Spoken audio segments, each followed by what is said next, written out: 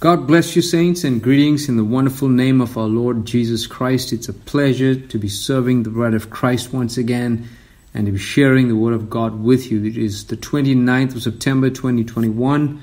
We are dealing with demonology as our series. This is part 23, God of this Evil Age, part 6. And for a title, The Biggest Cover Up in the World the biggest cover up in the world. We want to take a scripture reading from 2 Kings 9 and verse 30 and Ezekiel 23 verse 40 to 45. So let's read in the Word of God and may God add a blessing to His Word. 2 Kings 9 verse 30. And when Jehu was come to Jezreel, Jezebel heard of it, and she painted her face and tired her head and looked out at a window. Ezekiel 23:45 And furthermore that you have sent for men to come from far unto whom a messenger was sent and lo they came. For whom thou didst wash thyself paintedst thy eyes and deckedst thyself with ornaments and sattest upon a stately bed and a table prepared before it whereupon thou hast set mine incense and mine oil and a voice of multitude being at ease with her, and with the men of the common sort were brought Sabeans from the wilderness, which put bracelets upon their hands and beautiful crowns upon their heads. Then said I unto her that was old in adulteries, Will they now commit whoredoms with her, and she with them? Yet they went in unto her as they go in unto a woman that playeth the harlot. So went they in unto Aholah and unto Aholibah, the lewd woman. And the righteous men, they shall judge them after the manner of adulteresses, and after the manner of women that shed blood, because they are adulteresses, and blood is in their hands. Amen. So, also to begin, I want to read this quote from God of this evil age because this is the book that we are studying that brings out us um, this part of demonology, and we want to get to what the cover up is as um, soon as possible, as quick as we can, and in other words, just say it from the beginning. Paragraph 116 God of this evil age. The prophet says, Notice how Satan got that scientific age back there of Noah's. Now, this is important to notice the similarity, the parallel that is being used, which is the day of Noah. Okay, let's continue reading. To lean upon their own understanding. In other words, he got that generation, that scientific generation, to lean upon their own understanding. All right, so drawing that parallel. Huh? He says, the Bible tells us in Proverbs, lean not to your own understanding and let every word, every man's word be a lie, and God's be true. But Satan, by his knowledge from beginning at the Garden of Eden, got the people to lean upon their own understanding. And you know, through his great Max Factor's works that he had back there, he got women so fair that it caused the sons of God rather to fall to sin and marry them. Right? Woman was so fair, so pretty. Now, he makes a statement here. He got that great Max Factor's works that he had back there. Now, he's talking about Noah's day, and he's using something that was in his present, which is Max Factor, which we'll talk about just now. And he says that was happening in Noah's day, right? So, this is an important thing to understand, and that's why we want to look at it under the series of, under the subject of demonology. And so, um, without sugarcoating it, we begin. This session of demonology is about the beauty of women. Now, I know that some people will heave a sigh and go, oh, there they go again, beating that old dead horse of the Branhamites, you know, speaking against women. Everything is against women. So I'd like to say this from the start. I know there might be people listening to this who probably are not the message or not a part of our church or maybe from a different place or understanding. I want to say this to you from the start. In case you've heard some really ridiculous things about what we believe. And I also want to say this to this new generation of young people coming up. Uh, maybe some of you don't know me. It doesn't matter whether you know me. It doesn't matter whether you uh, you don't need to know me. I'm nobody important. But because it's me speaking on this audio, I'd like to confess something to you. I am no stupid. I am no religious zealot. I am not brainwashed by anyone or any dogma of a church or a following, and I have a perfectly healthy thinking brain. I can really think for myself. My faith is in the Word of God and in truth. Right? So let's clear that. I'm not I'm not a Branhamite. I'm not controlled by anybody. Nobody spoon fed me stuff from the time I was a child. My parents didn't do that to me. I was grown up a free thinking person. I criticize everything I see in the world based on the truth that I receive. And that truth is from the Word of God. So, having said that, it isn't a mystery that women have been one of the three biggest downfalls to men since the Garden of Eden. Now, we know the things that can really cripple a man, break him down, reduce him to nothing in this world is money, women, and popularity. You know, women don't even have those weaknesses. You're, it's very rare that women will have a weakness for men, that they will put everything, their families, their children, uh, you know, they're at, in jeopardy just for a man. It's very rare. There's very few women, but almost all men, uh, you know, will fall to either all three of these things or one of them. And it takes the Holy Ghost in a man to keep him safe from these things money, women, and popularity, particularly men of the ministry, men of my vocation. So, to say that again, it's not a mystery. It's not rocket science. It's not something that just came up with, with Brother Branham. It's not something that just came up in this day. Women have been the, one of the three biggest downfalls to men since the Garden of Eden. We have non Christian stories, histories of men, mythology. You know, the story of um, Troy and Greece, and, you know, of, of men doing the most idiotic things for the love of a woman, including destroying countries myths and legends were written and you know countries were formed and destroyed because of a man's love for a woman dynasties were destroyed dynasties in the east in china uh, emperor um, emperors and, and, and kings lost their lives and just for women just because they loved someone they could not be satisfied with the wife they had, so they would jeopardize their own kingdoms just for the love of a woman? Is it the fault of the woman? Obviously not. But that's what is important to understand. Woman will be one of the biggest downfalls of men in the last days. But even worse, she will be one of the biggest downfalls of the Christian church. Now, that's a hard statement, and you know, Women in this world do not enjoy those statements. Women in modern churches don't enjoy those statements. But it's true. Again, I want to make it clear that my statement is not placing the blame on the woman. It's demonology. But again, it's important that we understand it how and why. I'm sure someone will be screaming, How can he say, you know, women are demonology? I'm not saying women are demonology right? We've spoken a whole lot in the series of demonology and showed how it affects men, how it comes in through men behind the pulpits. I've spoken enough about men. I've spoken enough about people in general concerning demonology and how it affects them. This is something we need to admit as a society. It's demonology, right?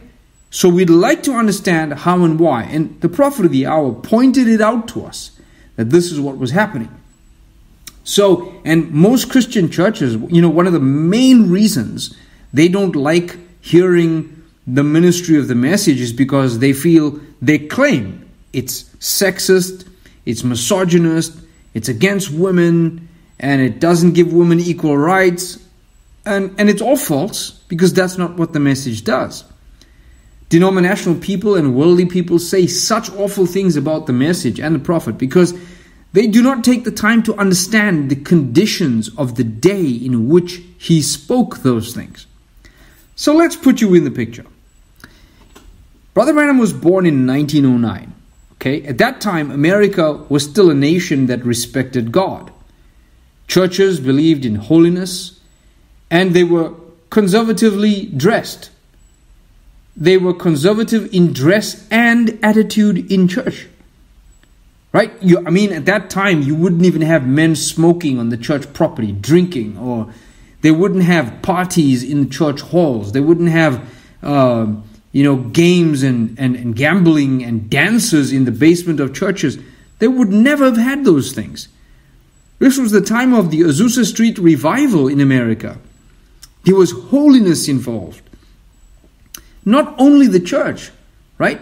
But so they believed at that time the church was a holy place. You know, at one time, maybe 500 years ago, uh, when people believed in witches and witchcraft and wizardry in the in the dark forests of Germany and um, you know of, of Europe and England, and uh, the churches were actually believed to have been holy ground, so that somebody who you know I don't know maybe they just had some psychological breakdown and they believed that person was demon possessed, and the whole village would run away from a person and take shelter in a church because they believed the devil could not stand or cross the gates of the church.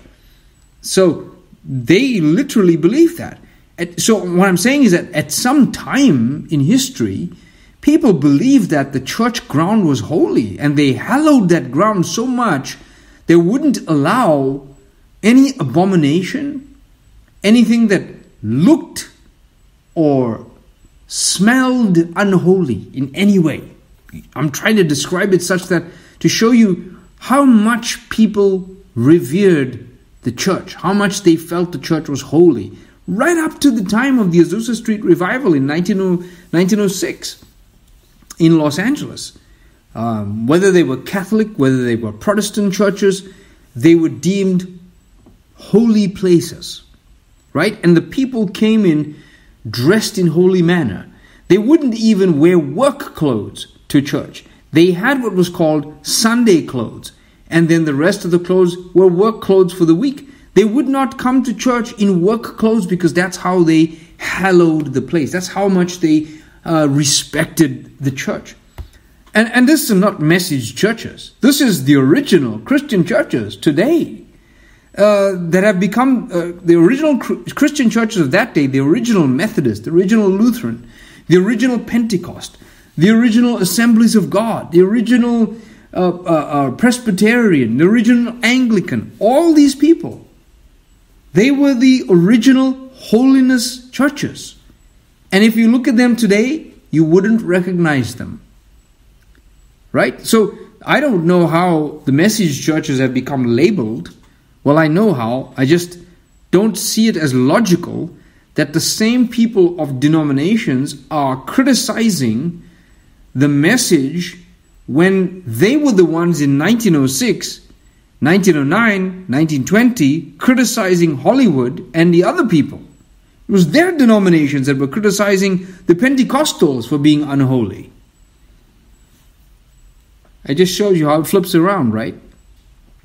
So, anyway, the churches believed at that time that the church was a holy place. And the people believed the churches were a holy place, and the churches Methodist, Anglican, Presbyterian, Pentecostals, the whole lot, Catholic and Protestant, they were against Hollywood. They were against Broadway. They preached against it.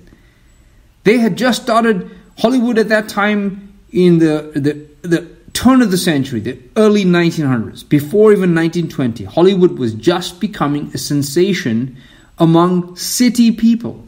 The rest of America were not interested. Actors in Hollywood were, were, were paid tuppence. They, they didn't earn much of a living. They had no advert, uh, advertising to make them great uh, people. They were not stars. They were not celebrities. They were your regular uh, drunkards and uh, you know people addicted to things. Uh, regular lecherous people barely making a living. That's what Hollywood began as.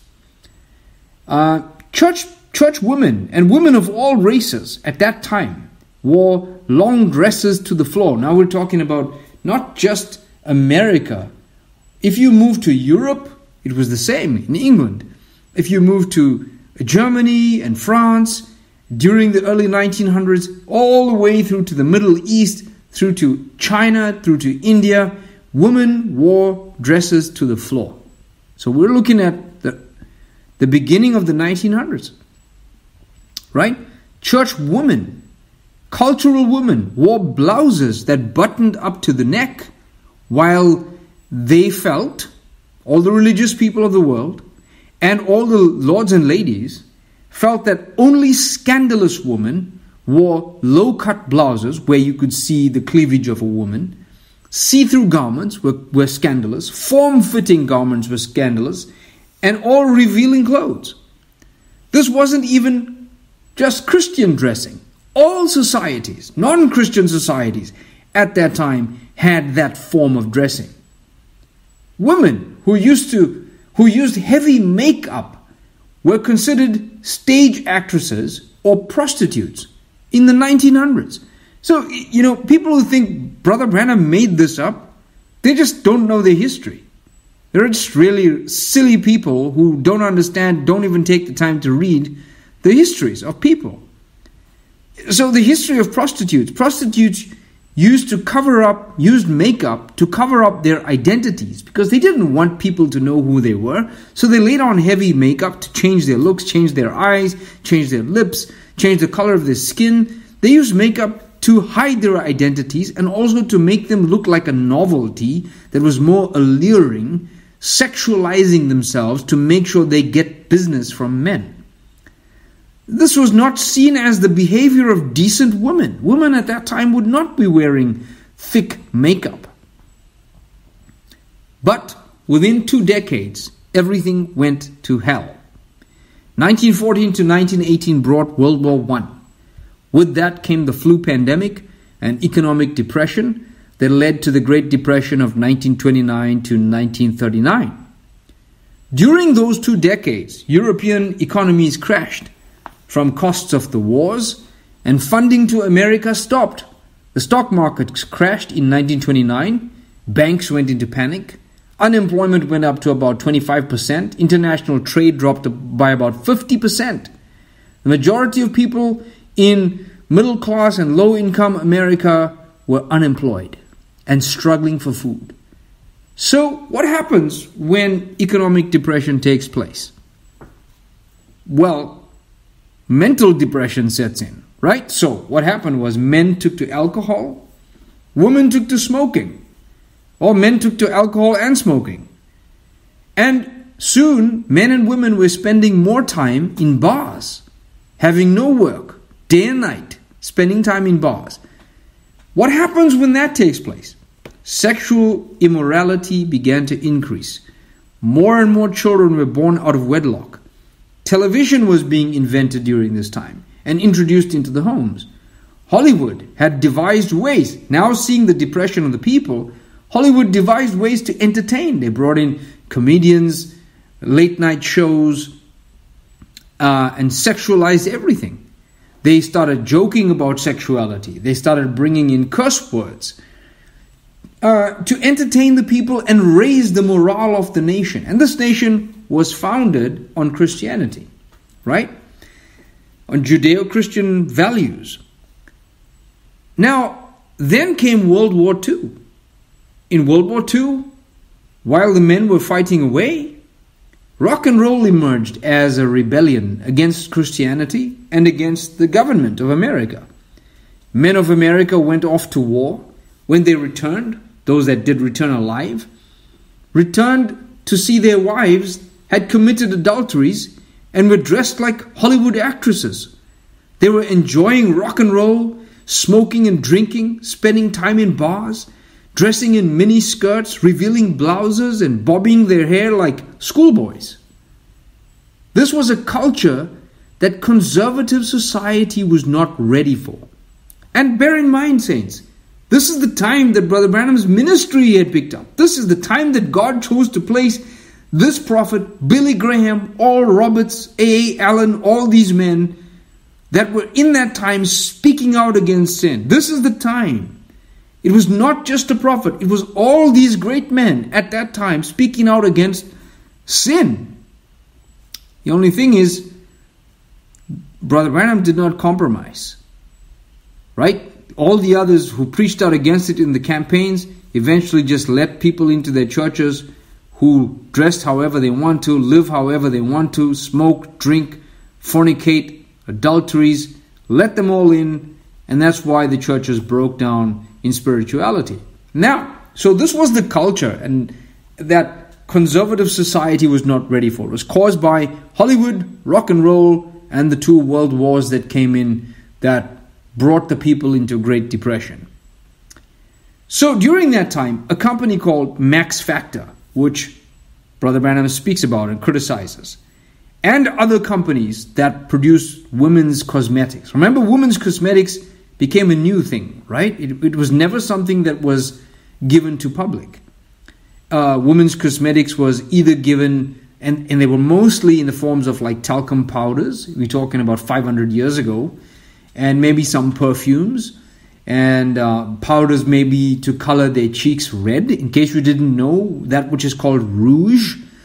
Uh, it's a scientific fact that when a woman is sexually aroused, blood rushes to her cheeks, creating the reddish, pinkish hue in her cheeks uh, which is why in the old um, um, picture stories, where whether it was Japanese or uh, the Eastern way, or Chinese or Indians, and many of the people who drew stories, they would draw beautiful women with these red circles on their cheeks. It wasn't because of anything else, but because at that time it was perceived that if a woman had sexual interest in you, her cheeks would be rosy, which is why you would find European women would often, when they were about to meet men, they would pinch their cheeks because if they were too pale, they felt that they were not attractive enough. So, Max Factor in America and these places began to produce powders, paints for women to change the colors of their skin and their eyes and uh, to make them look alluring and to make men think they are attractive and interested sexually in them. There was no uh, there was no other agenda for creating makeup, face paints, eyeshadows, mascara. There was no other there was, there was no other agenda. The only agenda of the original making of these things, creations of these things, was to make women sexualized. Okay?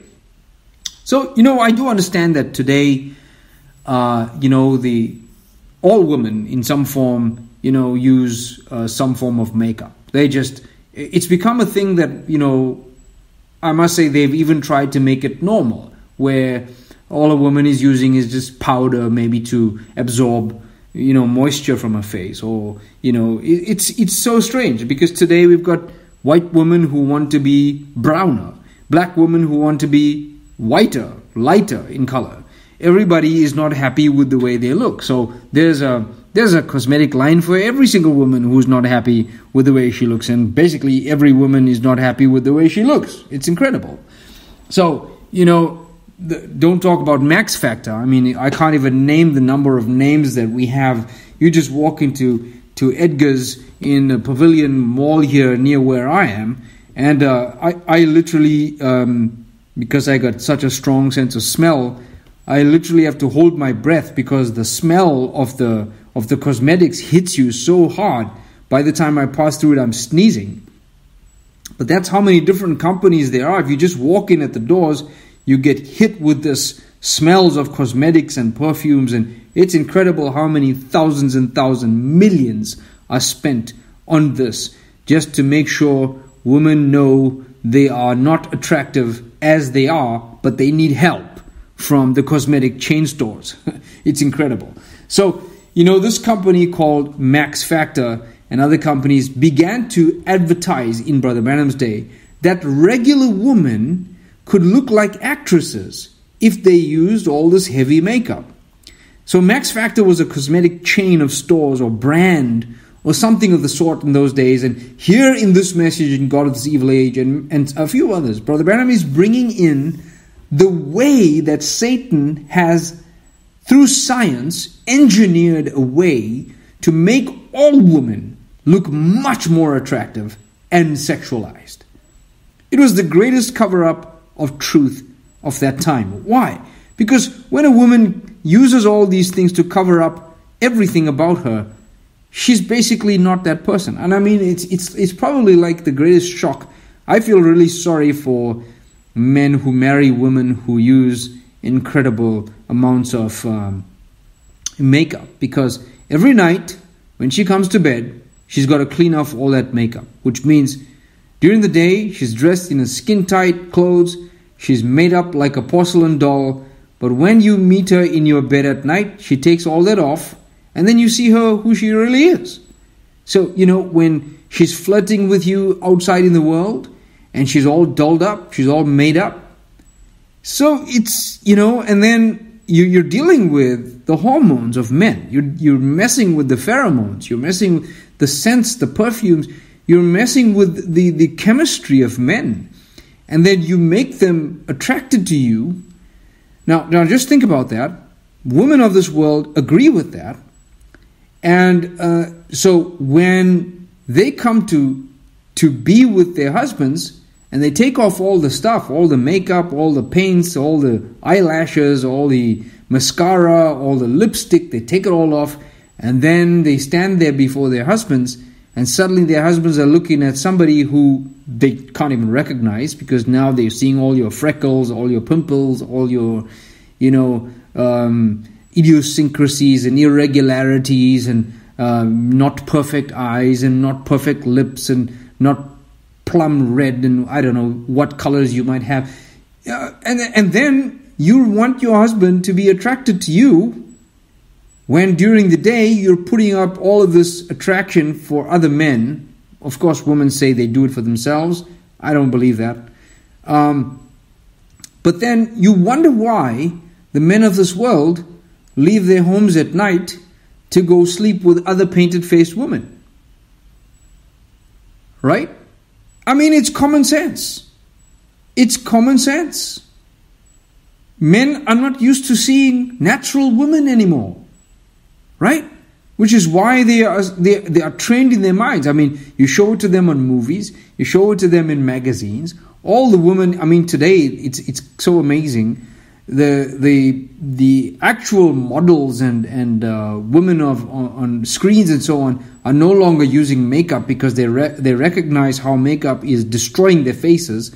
So they have computer software now, which uh, actors and actresses don't and, and models don't have to use it because the, the photographers are able to give them perfect smooth skin by using computer programs to smudge their faces and so on. So but in the meantime the, the, the max factors of the world today are telling the people you can look like actresses. All you got to do is use our products. Use our skin cleansers our toners our, our you know i don't know what face paints there are and, and, and so on so you can look like them. You don't have to eat healthy and exercise and, you know, uh, you can eat whatever you want to, but don't worry, we got you. We can do up your face for you. It's lies, it's demonology. And women of the world are being duped into this kind of behavior and don't realize it. Right? So, listen, saints, you may not like the truth. It was the biggest cover up of truth at the time. And women are still being lied to today, and of course, the ones who are who are targeted are the men. By demonology. They, they're targeted by demonology. So you may not like the truth, but it is simply what it is, according to history. The mentality of men at that time, 1929, 1930, 1940s, 1950s, the mentality of men was not ready for all women looking so highly sexualized. Let me put you in the picture. If you were a boy who was growing up on a farm, let's say in, in America, I don't know, maybe in Ohio, right? The closest pretty girl to you was like five miles away on another farm, okay? And then you go to the city, and all the girls there are dressed in their normal, you know, brown, beige working frocks. And they're working as washerwomen, waitresses. There was no, you know, the high class secretaries, skin tight skirts with high heels stilet- or stilettos. You know, that came later in Chicago and New York City and so on. That came later after all this nonsense had come in. So can you imagine the men of those countries moving to the cities to work and now seeing all these women who were uh, basically liberal and set free by, by the women's liberation movement and influenced by Hollywood and meeting all these women in the bars and clubs and lounges and these young men who came from conservative backgrounds in, in Ohio and the Midwest and all of these places and suddenly coming to these cities where they ha- where all industrialization was taking place, what do you think happened? Sexual immorality increased, rapes increased, teenage pregnancies increased, and soon the American society began its decay to the cesspool and disgrace to its founding fathers that it is today. America is an actual an absolute disgrace uh, in its morality, in its society, it is absolutely not an example for any society in the world today. The chain reaction, as women had lost their conservativeness, was catastrophic. More children were being born in the streets. More homes became single parent homes.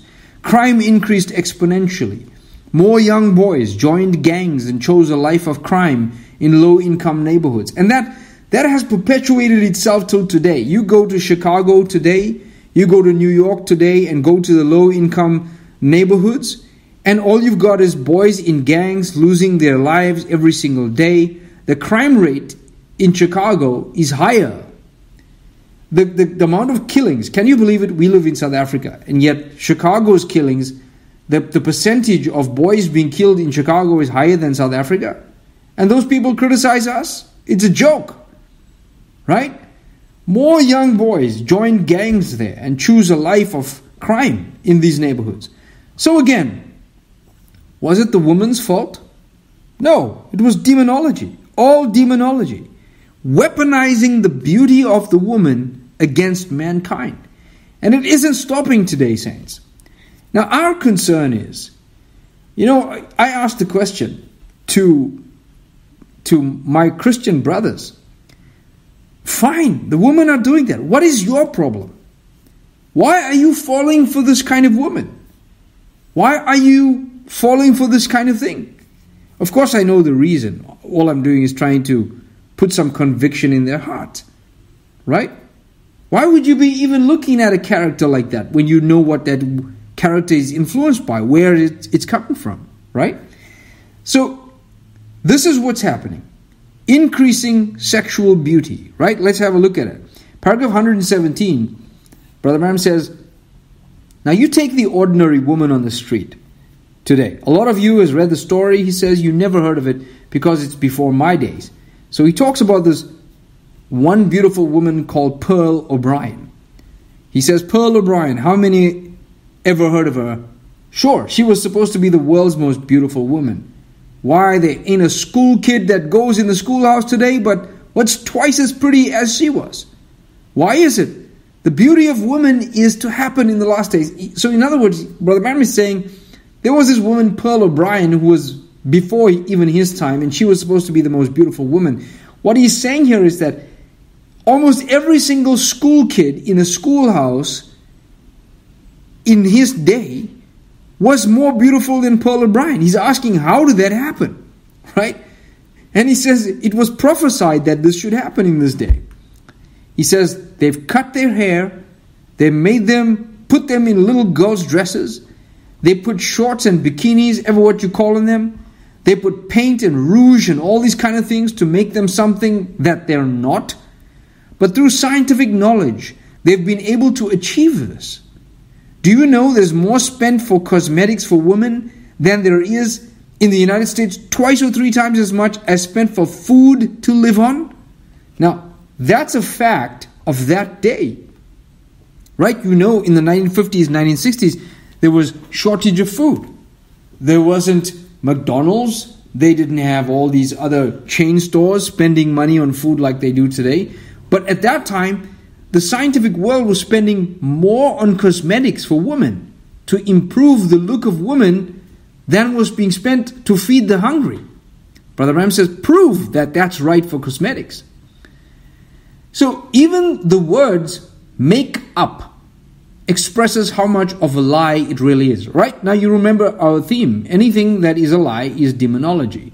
The biggest cover up in the world is a modern day woman's face that you see on a magazine or a billboard somewhere, and you see a, a woman who is advertising for a car or for a bank loan or whatever. The face that you see in that picture is not that woman's real face. The only time you see that woman's real face is when she washes her face before she goes to bed that night. And she doesn't realize that it's just a big lie. It's the biggest cover up in the world today, right? Covering the face with a veil in the old days was a sign of marriage. Covering the face with paint to change one's original appearance was a sign of prostitution. In the Middle East, in the Bible. All right, let's give you some proof. Genesis 38:15 says, "When Judah saw her, he thought her to be an harlot because she had covered her face." All right, so you say, no, no, that means, you know, they had that string veil with those, you know, strings falling down over the eyes and the beads hanging down there. And, you know, that, that's not makeup. All right, let's go to Jezebel religion. If you remember the scriptures we read in the beginning, 2 Kings 9 to 30, showing how that this woman, Jezebel, when, she, when Jehu was coming to judge her, she painted her face and tired her head, meaning she she decorated her hair and, and, and dressed her hair to make it appealing. And why did she do that? This is putting this together with the spirit of this evil woman Jezebel. This is the reason the Bible uses the symbol of Jezebel as a demonic enemy spirit against the church. Let's read Revelations 2:18. And unto the church in Thyatira write, These things saith the Son of God, who hath his eyes like a flame of fire, and his feet like fine brass. I know thy works and charity and service and faith and thy patience and thy works and the last to be more than the first. Notwithstanding, I have a few things against thee. Because thou sufferest that woman Jezebel. Now the word sufferest means you allow. Because you allow that woman Jezebel, which calleth herself a prophetess, to teach and to seduce my servants to commit fornication. Who is my servants? The ministers of the church. To commit fornication and to eat things sacrificed unto idols. Now, you know the book of Revelation is a book of symbols, so this is all symbolic prophecy of what should happen in the 2000 years after Christ, the church ages. And to eat things sacrificed unto idols. Verse 21 And I gave her space to repent of her fornication. In other words, I gave this church this woman Jezebel is the church, right? I gave her space to repent of her fornication, so she was involved in fornication. So, how is the church involved in fornication? And she repented not. Verse 22 Behold, I will cast her into a bed, and them that commit adultery with her into great tribulation, except they repent of their deeds. And I will kill her children with death. And all the churches shall know that I am he which searcheth the reins and hearts, and I will give unto every one of you according to your works. But unto you I say, and unto the rest in Thyatira, as many as have not this doctrine, and which have not known the depths of Satan as they speak, I will put upon you none other burden. Alright, so what's this prophecy talking about? Notice, he's speaking using a symbol and the symbol is Jezebel. And Jezebel is symbolizing the church. The servants are symbolizing the ministry of the church. And the, the symbol, the prophecy here is saying that, that during the dark ages, the church becomes a, a woman that is an adulteress. She's not just an adulteress, she entices the ministry to fall into pagan traditions. You find in verse 20, eat things sacrificed unto idols. Right? So, in other words, the, the Christian church is going to cause the ministers of the gospel of Christ to fall prey to pagan traditions. All right, and we all know the, the, the, the church at that time produced Christmas and Easter and, you know, um, the Eucharist and, uh, you know, I mean, the list goes on as to how many pagan traditions were brought in by the Christian church. So, and then we find, if you didn't think it was that, verse 24 says, As many as have not this doctrine. so, it was specifically speaking about doctrines. In other words, this woman Jezebel enticed the servants of God to partake in false doctrines, false teachings. Right? So, I'm just trying to give you a little precede understanding of that prophecy of Thyatira. So, the spirit of Jezebel is prophesied to be a scourge to the church, would always be a scourge to the church for generations to come. Until the Lord even says that her spirit is present in the Gentile church and that she has caused the church to go into spiritual prostitution. Notice what her plan was to trap a son of God by painting her face and doing up her hair. Right? That's what she was trying to do in reality to Jehu. Here in the symbol form, according to the symbol, Spiritually, the church having the spirit of Jezebel would cause the ministry to fall into the fornication of false doctrines because of the church's adulteries with politics and pagan tradition. So, what happened during that time is the church became so rife with politics. Remember Constantine joining church and state? The, the church became a political engine to control the world. And they embraced pagan traditions the, the birthday of the sun god Baal, the birthday of the, the sun god of, of, of the Grecians and the, and the Romans, and that was the, the summer solstice, which was the 25th of December, which, which they converted into the birthday of Christ, which is not even biblical. Uh, Easter, for that matter, which is the, the time of the fertility uh, uh, sacrifices, it is the equinox um, where in the northern hemisphere they were celebrating the time of fertility, and that is how you got Easter, which comes from the word esterus, which means eggs, which means fertility, which in the in the in the European continent with the Dutch people uh, came Osterhaus, which is the Easter bunny, where they came up with a painting of Easter eggs, and um, and you know the traditions go on and on. I mean, most of you know this already, and if you don't know it, it's because probably you haven't heard of it and you're just going along with your church's pagan traditions. But this is the truth. Uh, and the churches accepted all this stuff and felt, you say, but that's not serious. Come on, you know, that's not uh, doctrines. And do you not realize that Easter is calculated? by the Catholic Church every year based on the equinox, based on the moon, and the, uh, the position of the moon. I mean, who does that? Why are they doing that? Why are they still doing that? Who asked them to do that? Where does this even come from? Why must the world be forced to, to celebrate this, this time called Easter based on the calculations of where the moon is? I mean, is that what God really expects of us? But who cares? It's a harmless thing. Of course, if you start accepting that piece of makeup, you're going to go to the next piece of makeup. Then you're going to get to the eyeshadow, where they're going to pull the real wool over your eyes. You know, and the next thing you have is full blown cover up of almost every single thing, and you're flirting with a false doctrine. Before you know it, you're in spiritual adultery and you're lost from the original Word of God. Let's read paragraph 118 sign of the end of the church and the world. He says, Notice the sons of God. Now he's talking about the days of Noah and Sodom and Gomorrah. The sons of God saw the daughters of men, not daughters of God. The daughters of men, that they were beautiful. Now listen, this is what caused the flood, right? This is what caused the first deluge that caused the first destruction of mankind was because of what sons of God had brought in to the race of men.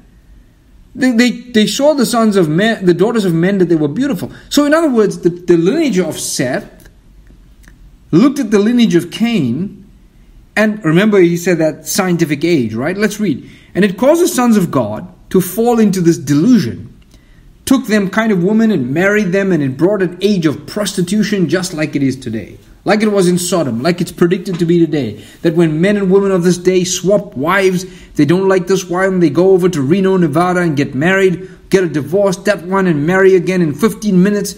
And women so pretty, they're almost irresistible. And what is it? The devil. See Satan still in beauty. Notice, notice that sin was never forgiven them. Right? Noah's day. That sin was never forgiven. That pretty scientific age was the very evil age that God destroyed off the face of the earth that pretty scientific age. Jesus said that it'll be again just before the coming of the Son of Man. That's right. Notice Jesus said, as it was in the days of Noah, so will it be in the coming of the Son of Man. And when they all try to marry, now watch the sons of God marry the daughters, the pretty daughters of men, and God never did forgive them for it.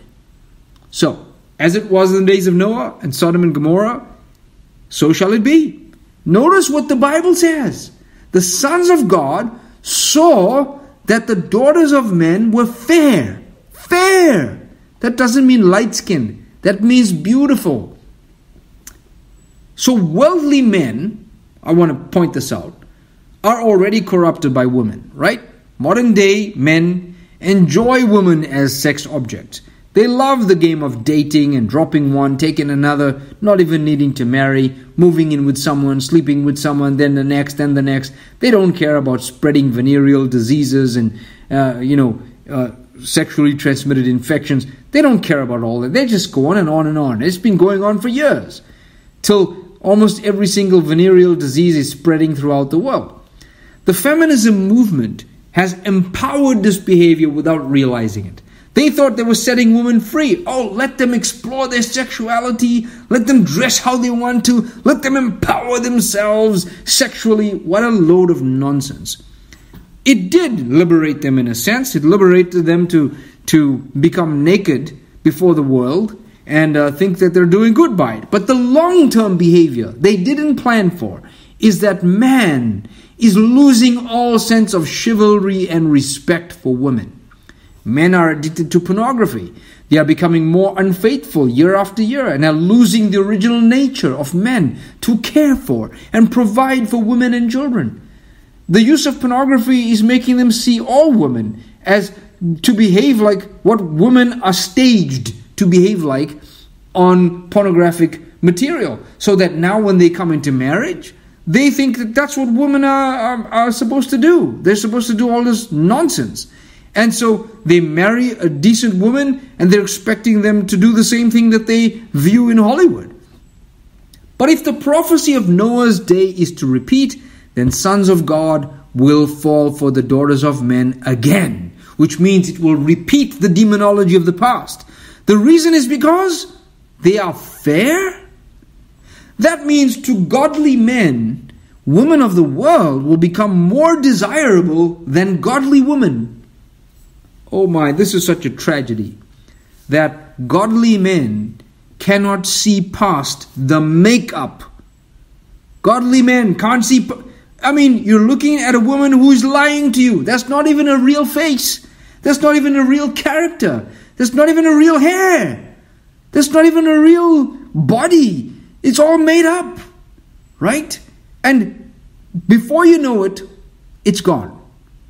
It's gone and then you're looking for another made up face. Right? Sons of God who have been called to the ministry will be falling naturally for women. First, as a sign that a bigger fall is coming and that the real fall would come. You know, on Monday I heard on the radio that there's this pastor in uh, what is this place in Pretoria, and uh, he he used the gospel. Can you believe it? It was called something like the God of Love Ministries, and he's now been uh, convicted of raping, I think, five or six women in his church, and uh, uh, he told them things like by him sleeping with them, he was helping them spiritually, you know, get rid of, um, you know, corruption on the inside of them. Or he was, I mean, the man is deranged. But of, of course, we're not blaming the woman here. Of course, this man is at fault. Of course, this man is a lecherous, you know, somebody who who doesn't have the Holy Ghost and use the church. Of course. The point is, how did men get to this state where they can't even respect women.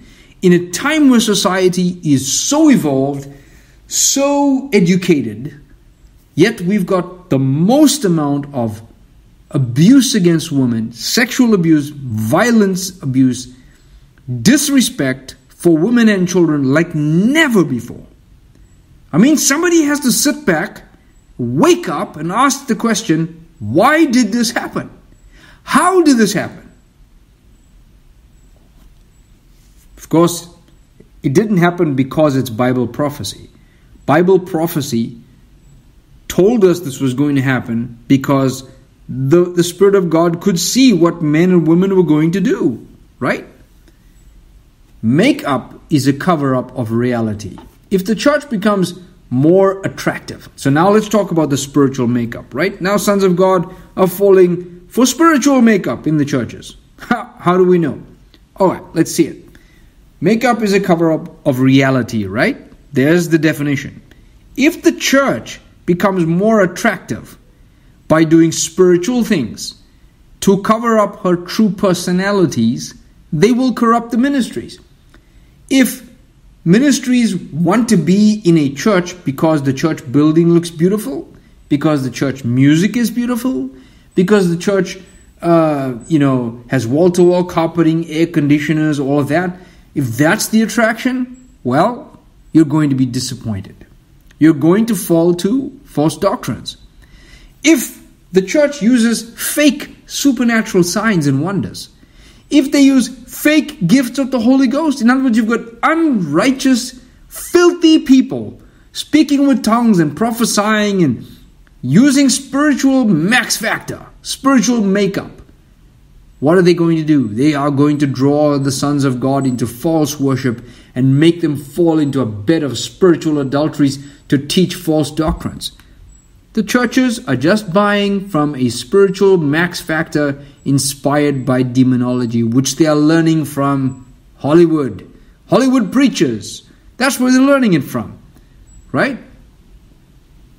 And when we say Hollywood preachers, you know, Hollywood is actually against Christianity. But we're, we're talking about preachers of America, Europe, Australia, and all these people are not interested in the word. You just start speaking the real word in 15 minutes. They're angry, bored, tired. They don't even want to listen. All they want is, you know, Hollywood religion.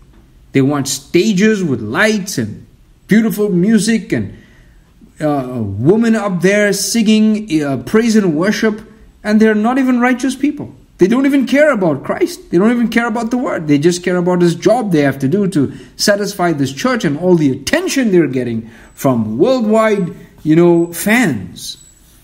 Let's read about the doctrine of Balaam, paragraph 120. Now we know in Thyatira the two accusations the Holy Spirit had against the church at that time was the doctrine of Je- Jezebel and the doctrine of Balaam. Paragraph 120. Just the same as Balaam's teaching that he caused the pretty intellectual scientific woman of Moab with their flirty eyes, her paints and powders, her fine perfumes to entice the sons of men against their own women that worked and had calluses in their hands with no makeup, entice them over and let us marry one another because we're all the same people. That was a lie. It was a lie and an achievement of the devil, you see, demonology, to get the sons of God to marry the daughters of men. It was the lie of the devil, demonology. for Balaam, that false prophet, to try and prophesy against Moses, that try to hold the race together to say, well, we believe the same God, we offer the same offerings, we have the same sacrifices, we do everything just alike. So, so close that it would deceive the elect if possible.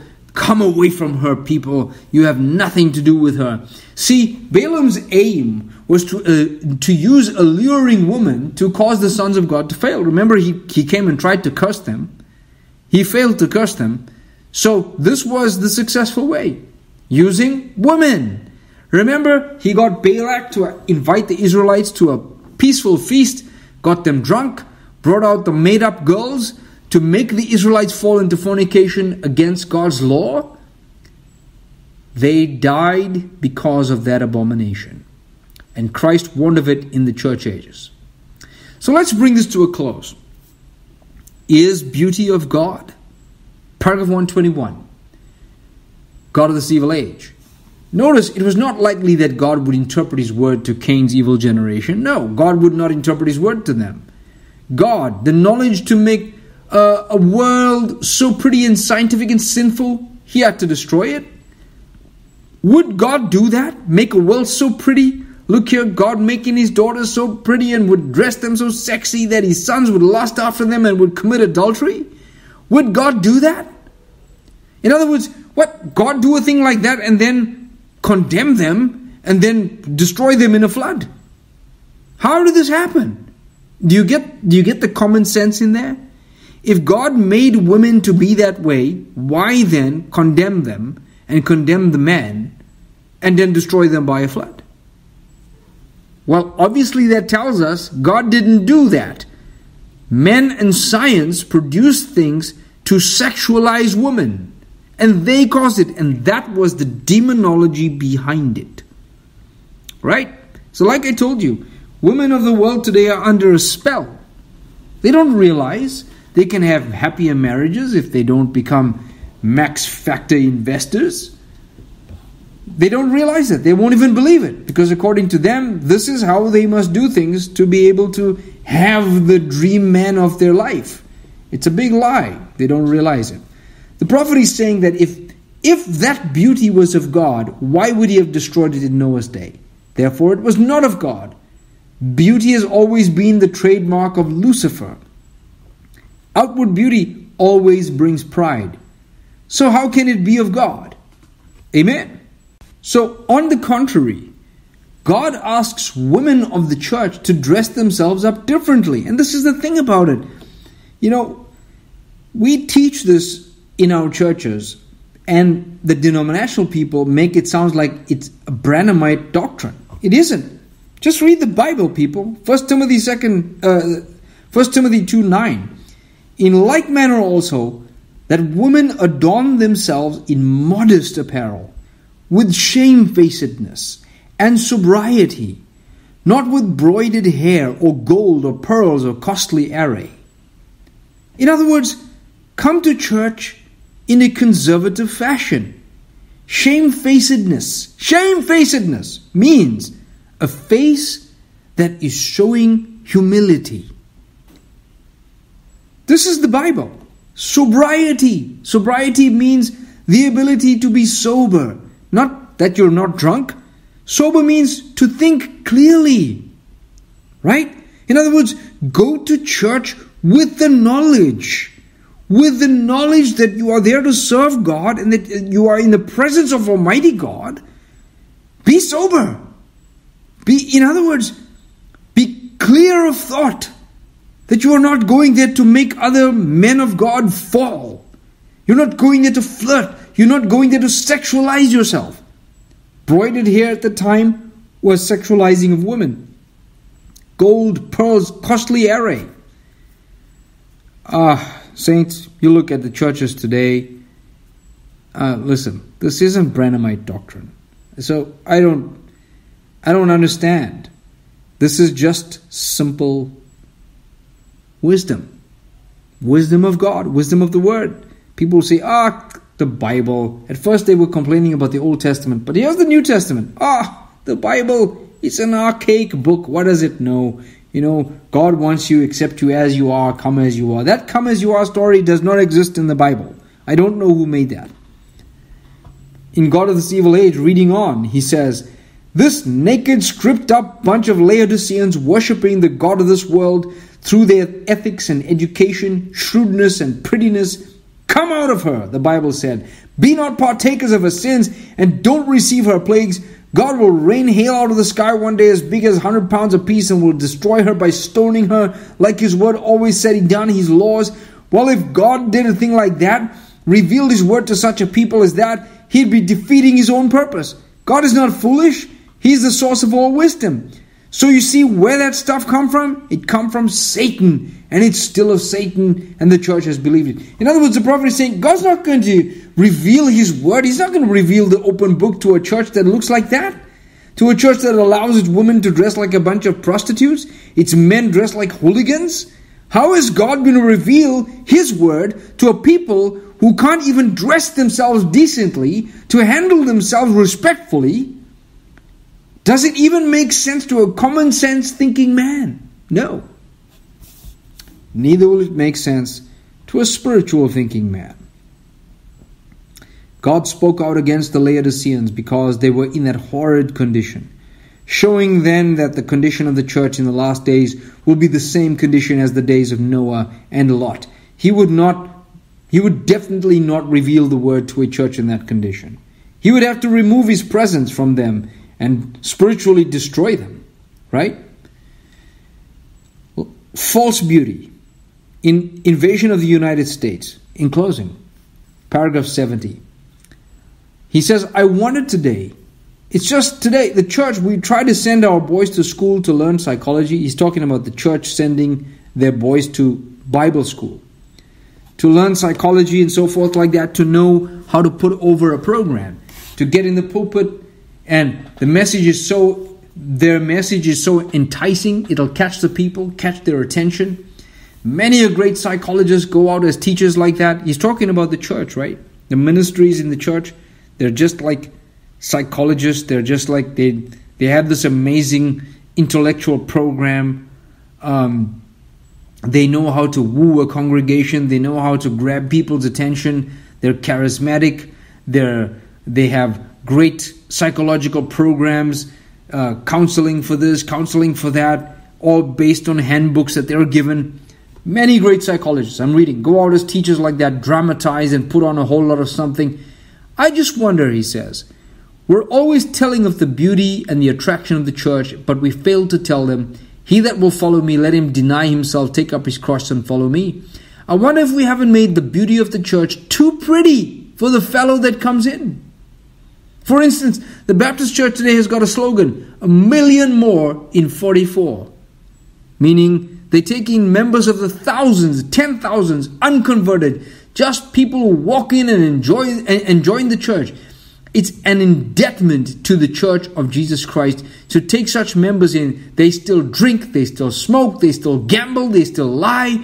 They come to the church expecting to be entertained by a bunch of Hollywood evangelists. That platform that gets up, put on a, a lot of glamour, a lot of big instruments, setting up and down on the platform when they ought to have an old fashioned God first crying out altar call down there where men and women don't come to glamorize or run up and act a clown but to get down to the altar and realize that the death of Jesus Christ there that died for them, they're getting back sincere with God.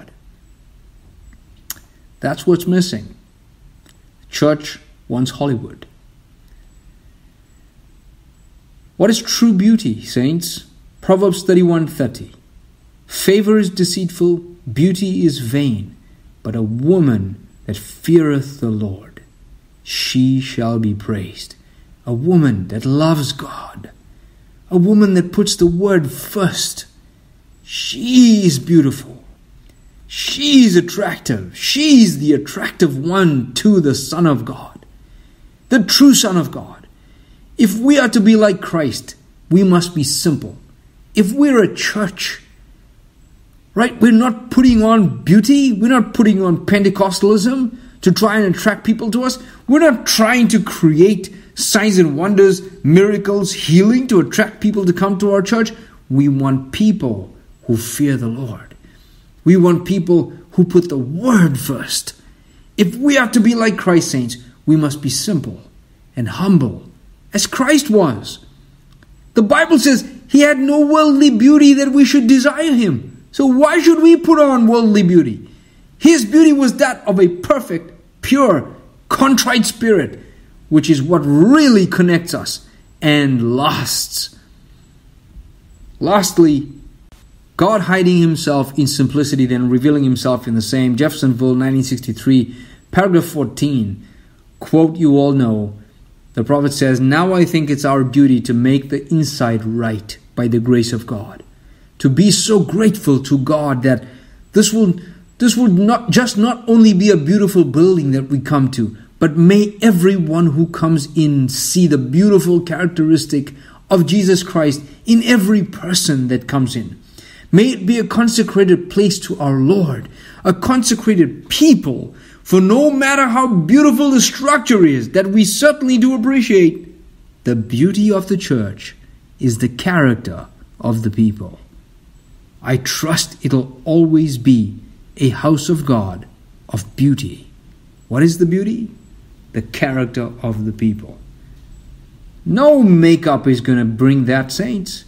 No makeup of demonology is going to make the character of the people beautiful. It's got to be the Word. There's no makeup involved. There's no spiritual makeup. There's no spiritual max factor that can turn you into something that looks beautiful to the public. They're going to know. If you put on spiritual Pentecostalism, speaking in tongues, prophesying, you're just a painted face. You're just a painted fire that gives no warmth. The public is going to sense you're just a hypocrite. If you're going to put on fake healings, fake miracles, fake feeding of the poor, fake donations, you're going to do all that, you're just a painted face. You're the biggest cover up. But if you have the Word, if you love the Word, if you place the Word of God first above everything else, my, you are the real deal. You don't need makeup. Who you are is who they see. And that's the church that takes the stand for Christ in the last day. And that's the church that is not using demonology to control the ministry. Let us endeavor to be that people, saints. Let us endeavor to take the word first, to be the woman, the church that puts the word first before anything else. Let our beauty be the character of Christ displayed in us. May the Lord bless you, saints. Until the next time, be strong in the word, love the word with all your heart. This is this is proof to us that we need to spend more time in the depths of God's word because that's where our beauty comes from. It's not the beauty of the world, it's the beauty of Christ. The Lord bless you. Amen.